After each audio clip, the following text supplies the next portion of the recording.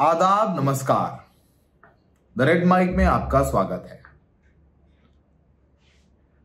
दो दिन गुजर गए हैं हाथरस हादसे के। मरने वालों की संख्या 121 है। कुछ लोग अभी गंभीर अवस्था में अस्पतालों में अपना इलाज कर रहे हैं। सबसे बड़ा सवाल है कि ये जो बाबा है, जिसका असली नाम सूरज पाल है पुलिस में काम करता था, यूपी पुलिस में। उसके ऊपर यौन शोषण की धारा में मुकदमा दर्ज। वो जेल गया। जेल से आने के बाद 1998 में बाबा बन गया। उसके बाद से अपना प्रवचन देने लग गया। 1999 में बाबा ने दावा किया कि वो लड़की को ज़िंदा कर सकता है। दो दिन तक उसने उस लड़की को अपने घर पर रखा, फिर शमशान ले गया। जब हज़ारों की भीड़ आई तो पुलिस हरकत में आई और बाबा की गिरफ्तारी हुई। आप सोचिए कि दो दिन गुजर जाने के बाद पता नहीं कि वो बाबा कहाँ है। बाबा कहाँ है ये किसी को नहीं पता है ना, बाबा की खबर किसी के पास है। हम ये कोशिश करेंगे आपको बताने और समझाने की कि बाबा क्यों कभी गिरफ़्तार नहीं होगा। और क्या बाबा को पकड़ने की कोशिश की भी जा रही है? या फिर सब हम पत्रकार कह रहे हैं कि वो फरार है? पुलिस ने अपनी एफआईआर में बाबा को आरोपी नहीं बताया, बनाया है। पुलिस ने अपनी एफआईआर में बाबा के एक सेवक, एक प्रमुख सेवक है, उसको आरोपी बनाया है। उस प्रमुख सेवक का नाम है देव प्रकाश मधुकर, जो यूपी के पंचायती राज विभाग में जूनियर इंजीनियर पद पर काम करता है। वो धीरे धीरे इतना करीब आ गया बाबा के कि वो बाबा का सबसे करीबी और मुख्य सेवादार बन गया। वो एफआईआर में सबसे नंबर एक पर नामजद है। यूपी पुलिस ने उस पर एक लाख रुपए का मुकदमा इनाम रखा है। उसके घर पर ताला लगा है, उसका पूरा परिवार पता नहीं कहाँ है। जो हमारे उत्तर प्रदेश पुलिस में सूत्र हैं, उनकी माने तो हाथ, इस भगदड़ के बाद, लोगों के मरने के बाद, बाबा और वेद प्रकाश के बीच एक लंबी फ़ोन कॉल हुई और उस फ़ोन कॉल के बाद से पता नहीं है कि वेद प्रकाश कहाँ है, उसके फ़ोन बंद है, उसकी लोकेशन नहीं ट्रैक हो पा रही है। बाबा को ना पकड़ने के पीछे कई कारण हैं और बाबा को नामजद करने के पीछे कई कारण हैं। उस पर हम बात करेंगे। पहले सुनते हैं कि बाबा का पक्ष लेकर के वकील एपी सिंह सामने आए हैं। हमने कल वीडियो में बताया था कि पहले जो एपी सिंह ने लिखित में कहा था कि बाबा भगदड़ वाले वक्त वहाँ से निकल गए थे तो सीसीटीवी सामने आ ही गया है, जिसमें साफ़ होता है कि बाबा उस वक्त वहीं बिल्कुल नज़दीक था जब भगदड़ मची, जिसमें लोग उसके चरणों की धूल लेने के लिए नीचे झुके और बाबा के सेवादारों ने धक्का मुक्की करी और भगदड़ मच गई।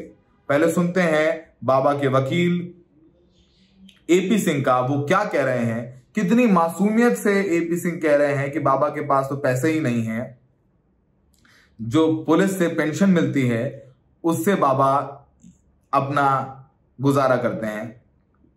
एपी सिंह एपी सिंह को सुनिए। तो ये बाबा इतनी इक्कीस मौत हो गई बाबा सामने क्यों नहीं है उनका ही मैसेज है उनका ही मैसेज है वो लॉ अबाइडिंग सिटीजन है पुलिस के अनुसार जैसा पुलिस कह रही वैसा कर रहे हैं। सामने आने की बात मैं आया हूँ उनका मैसेज दिया है उन्होंने अपना लिखित संदेश दिया है मृतकों के प्रति संवेदना बिल्कुल इन्वेस्टिगेशन एजेंसी जो भी है बिल्कुल सदैव वो आज नहीं वो आज नहीं कल नहीं परसों नहीं वो कभी भेष नहीं बदलेंगे, कहीं भागेंगे नहीं, कभी आपको बॉर्डर पर नहीं मिलेंगे, इसी देश में, इसी उत्तर प्रदेश में हैं और पूरी जाँच में जब भी कभी बुलाया जाएगा, भाग लेंगे। हमें एसआईटी की जाँच एजेंसी पर भरोसा है, लेकिन हमें यह भी मानना पड़ेगा, क्योंकि सनातन की बात है, सनातन पद्धति से हम लोग अपना जीवन चलाते हैं तो हमने पढ़ा है हानि लाभ जीवन मरण, यश अपश विधिहात।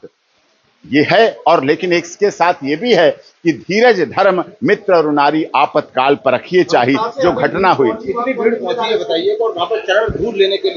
नारायण साकार हरि के यहाँ कोई चरणों की नहीं है। आपने भी देखा वरिष्ठ पत्रकार हैं आप लोग अलीगढ़ में।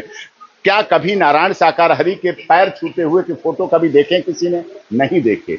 है ही नहीं हो ही नहीं सकते। वहाँ प्र, ना तो वहाँ डोनेशन है ना तो वहाँ डोनेशन है ना वहाँ चंदा है ना वहाँ रसीद है ना वहाँ किसी के तरह सोने चांदी चढ़ाने का है कोई व्यवस्था नहीं है सिर्फ़ प्रवचन करते हैं और उसी आधार पर अपना जीवन चलाते हैं अपने बीआरएस की सैलरी से जो मिलती है पेंशन मिलती है उसी से अपना जीवन यापन चलाते वो तो किसी का भोजन भी नहीं करते। इतना बड़ा एम्पायर एक सिपाही ने खड़ा कर दिया इतना बड़ा आश्रम खड़ा तो आश्रम नहीं उनका है कोई उनका आश्रम नहीं कोई बनाता है कोई खड़ा करता है उन्हीं नहीं उनका कोई मैं आपके सामने उनका एडवोकेट होने के नाते 26 वर्षों से सुप्रीम कोर्ट में वकालत होने के नाते आप वरिष्ठ पत्रकार लोग हैं। आप सबके सामने ज़िम्मेदारी के साथ कहता हूँ कि नारायण साकार हरि का इस देश में इस दुनिया में कोई आश्रम नहीं है।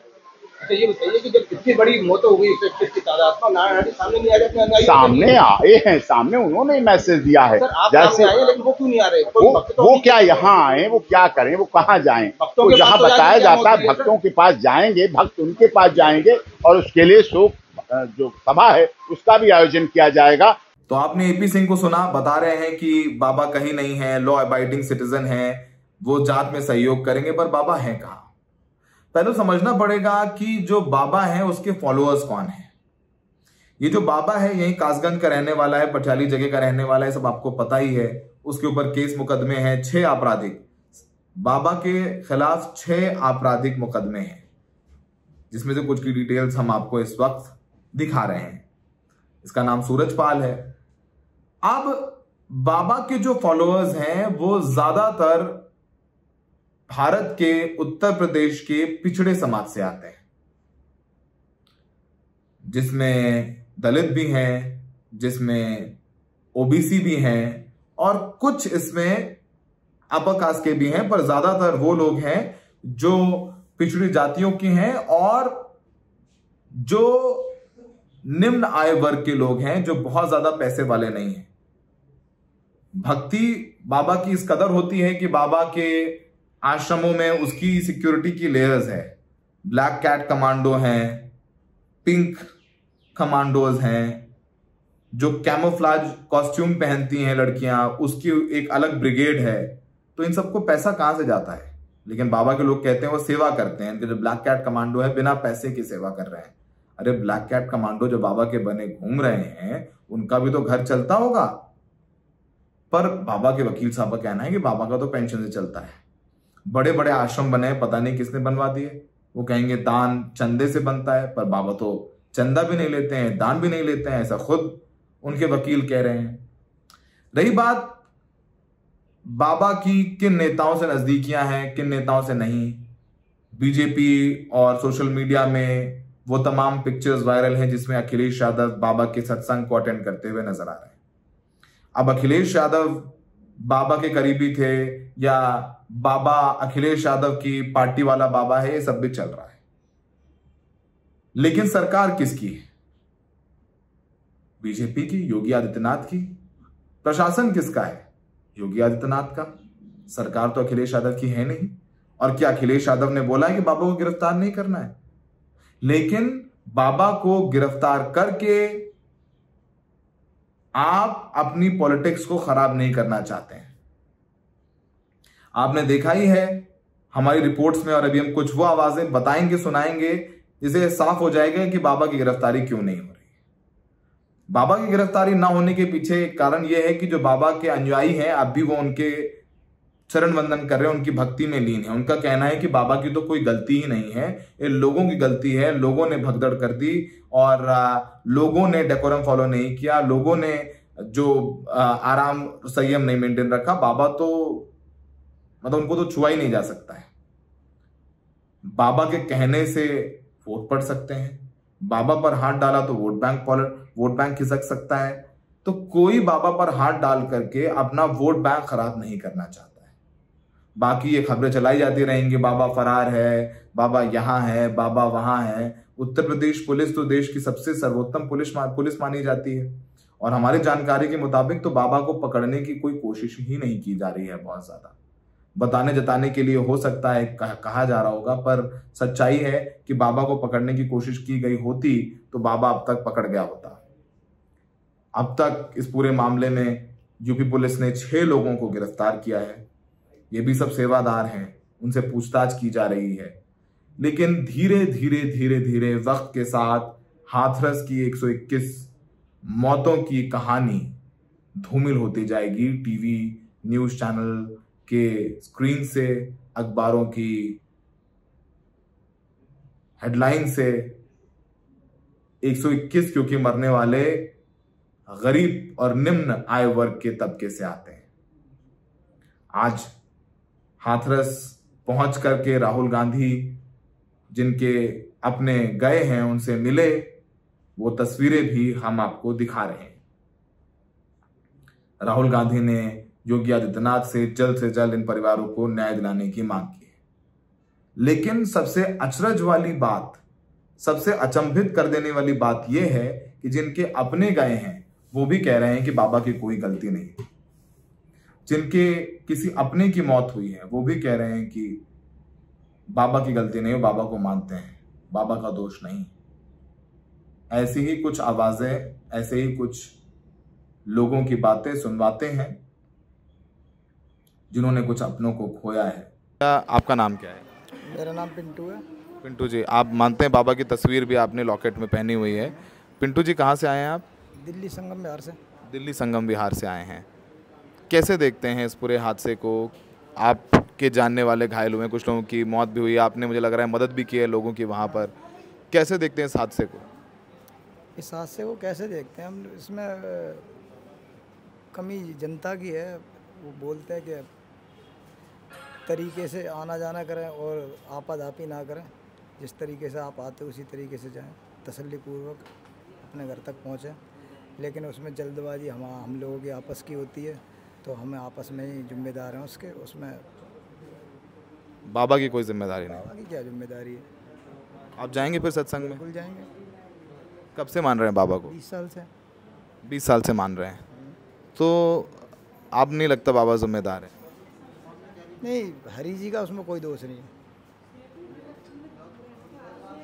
जो लोग मरे हैं उनको न्याय कैसे मिलेगा? उनका इंसाफ कैसे मिलेगा? वो न्याय वाली बात देखते हैं तो उसमें कसूर उनका थोड़ा नहीं है भैया। कैसे उनका कसूर मैं ठहराऊँ बताओ। जब आपको हर बात पहले बता दी, यहाँ से निकलने से पहले आप तन मेहता के साथ तसल्ली पूर्वक जाएँ। आप अपने आपस में बाहर जाके लड़ाई करोगे जाके तो उसमें ज़िम्मेदारी किसकी है? अभी हम आपस में यहाँ खड़े हैं, बातचीत कर रहे हैं, बाहर जाके आपके साथ लड़ जाएँ। आप मुझे मार दो, मैं आपको मार दूँ, उसमें जिम्मेदार कौन है? हम दूसरे जिम्मेदार हैं ना एक दूसरे। तीसरे का तो कोई रोल ही नहीं है। आप फिर जाएँ जब जहाँ सत्संग होगा आप जाएँगे। हम जाते ही हैं जाएँगे क्या? जाते हैं और जाते रहेंगे। आपके पत्नी है बगल में उनको कुछ हो जाता तो? तो क्या हो गया? पत्नी को तो वैसे भी जाना है हमें भी जाना है। आज निकल आगे पीछे तो चलता रहता है। संसार है कोई परमानेंट थोड़े नहीं है आने के लिए। यहाँ कोई परमानेंट थोड़े नहीं है। जिम्मेदार बाबा नहीं है। हम अपने अपने कर्मों के स्वयं जिम्मेदार हैं। हमारे कर्म के लिए कोई दूसरा जिम्मेदार नहीं है। हमने अच्छा किया है तो हमारे लिए अगर हम बुरा करते हैं तो हमारे लिए। आपका नाम क्या है दीदी? निर्मला सर। निर्मला जी आप जाती हैं सत्संग में? कब से जा रही हैं? मेरे को भी बीस साल हो गए। बीस साल हो गए हैं। तो सेवा भी करती हैं जाके वहाँ? सेवा करती हूँ। क्या सेवा में क्या ड्यूटी लगाते हैं आप? यहाँ ड्यूटी मिल जाए वहीं करते हैं सर। क्या जैसे क्या काम करने को मिलता है? इसमें सैनिक की ड्यूटी है मेरी। यहाँ भगदड़ वगैरह है उनको स्थान से बैठाना है पंडाल में सबको बैठाना है खड़े होते बंदे उनको। कल किसकी गलती रही? कल परमात्मा की सर कोई गलती नहीं। उन्होंने समापन करके चले गए थे वो। ये आम आदमी डक्का पेली से ये हुआ है सर। परमात्मा मतलब बाबा? हाँ नारायण हरी वो तो समापन करके चले गए थे। इसमें आम आदमियों की गलती है सर। वो कहते हैं आस्था पूर्वक जाना अपने अपना स्थान पे प्रस्थान करना मगर भगदड़ मचा मचाते हैं तो इसमें आम आदमी की गलती है। तो आप मंदिर वगैरह जाती हैं? नहीं सर मैं कहीं नहीं जाती। सर परमात्मा के दर पे आती हूँ। परमात्मा जी की पूजा करती हैं? हाँ, पूजा उनकी आरती वंदना होती है और पूजा नहीं धूप अगरबत्ती कुछ सामग्री नहीं होती है। आरती होती है? हाँ आरती जो लिखा है वो गाया है तो मंदिर प्रार्थना होते हैं।